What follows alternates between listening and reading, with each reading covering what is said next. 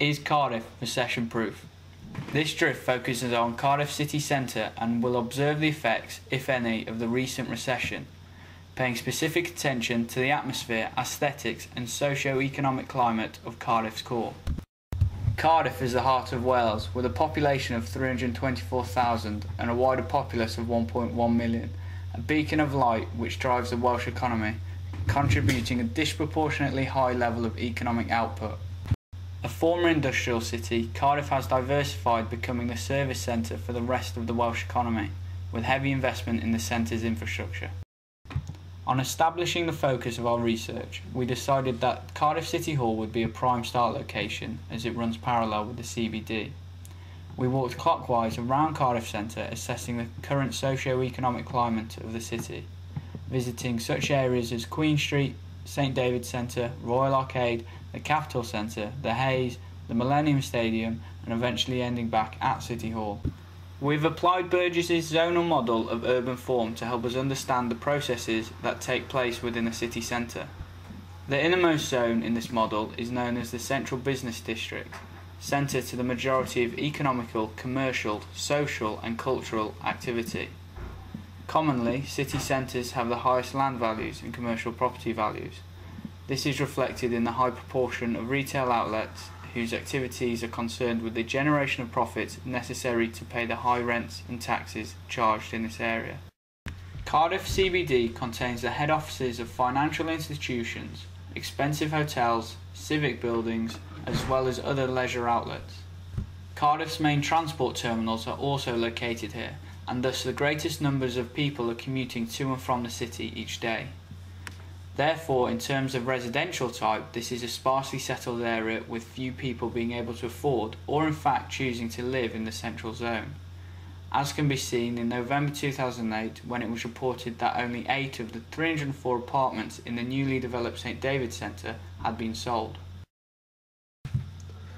As the recession continues, there is much talk about how shop closures are changing the face of high streets and shopping centres across the UK. There is plenty of discussion and research about the effect this will have upon towns and cities. Store closures are primarily a long term structural issue rather than solely a short term cyclical effect of the recession.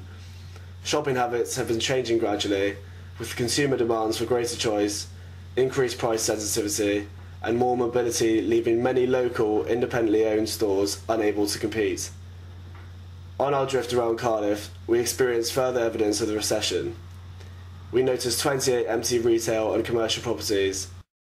A proliferation of vacancies clearly lessens the experience and enjoyment of shoppers, reducing shopping to a functional activity rather than the leisure pastime which retailers aspire to create and which is beneficial for both shopper and retailer alike.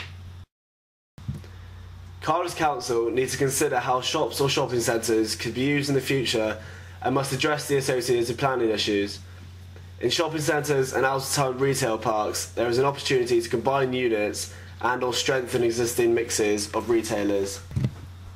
The quality of, of the visual environment deteriorates in areas where a large number of shops are boarded up, or worse still, vandalised.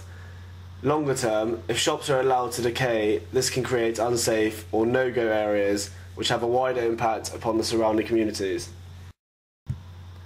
Vacant properties work to create low levels of consumer confidence, as shoppers are deterred by boarded up shops each time they venture out onto the high streets and shopping centres.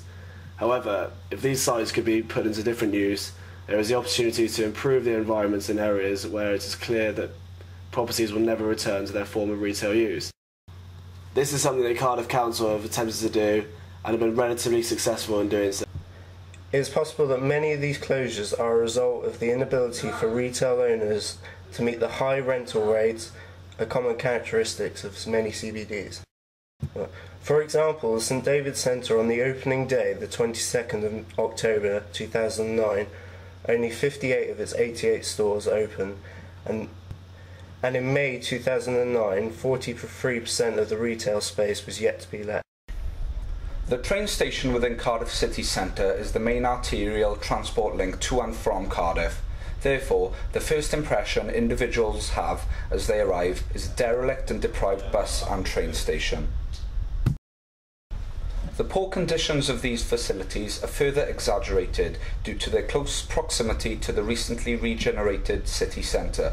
This could be evidence of how the local government have been unable to keep up with private developments in the city through a lack of capital.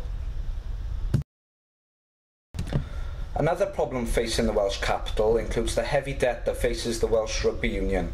Due to the £121 million construction costs of the Millennium Stadium, the WRU found themselves experiencing financial difficulties. As a result, the WRU were forced to locate public and private investment in order to fund the project. As a consequence, the North Stand was never fully completed and remains partly finished to this day. Between September 2007 and April 2009, the number of people claiming job seekers allowance nearly doubled from 4,486 to 8,759, an increase of 95%.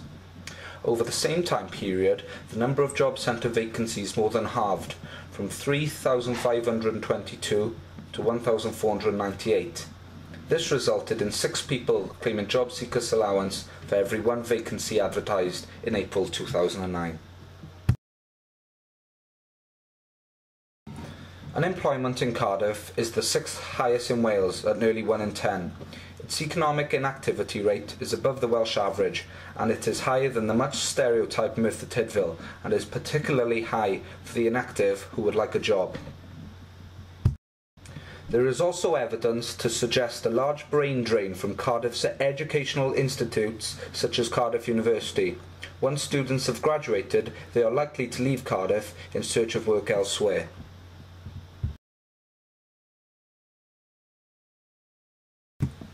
This in turn may not be a direct impact of the current recession, but the lack of opportunities for both graduates and local residents within Cardiff city centre means that there is a knowledge drain. This has a further negative impact on the city.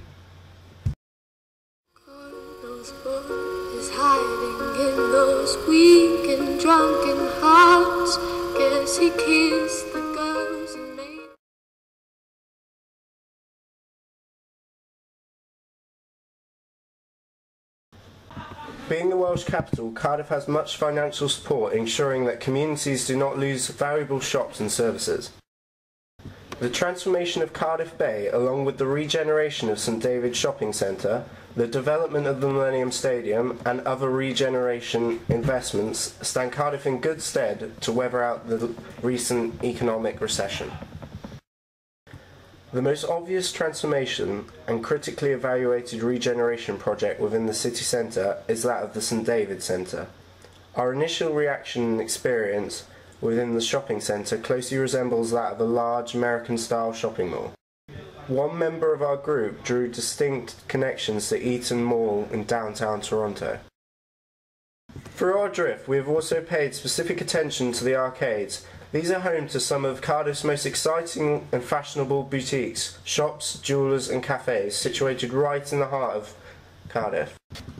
The arcades have also benefited from retail regeneration in Cardiff Centre as an alternative, unique, and original shopping experience, reminiscent of London's arcades or even J.K. Rowling's fictional Diagon Alley in Harry Potter.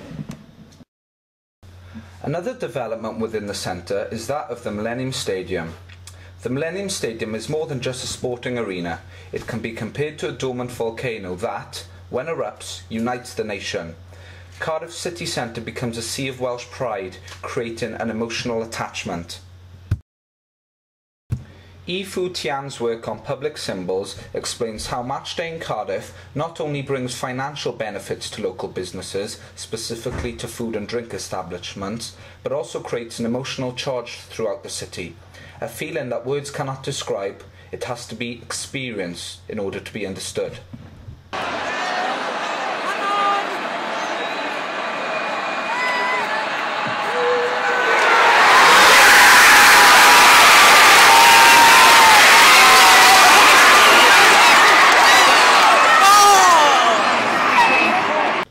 One of the challenges for planners while undertaking any city centre regeneration is to blend the new contemporary architecture with the existing traditional mock style.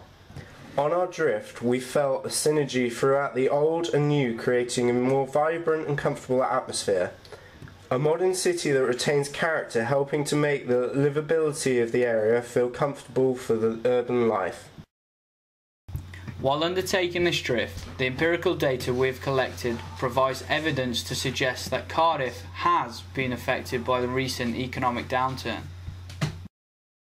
On the other hand, as a group, we feel that Cardiff has maintained a lively and vibrant atmosphere despite the financial situation. Developments such as the St David's Centre and other regeneration projects have enabled Cardiff to find stability in these uncertain times.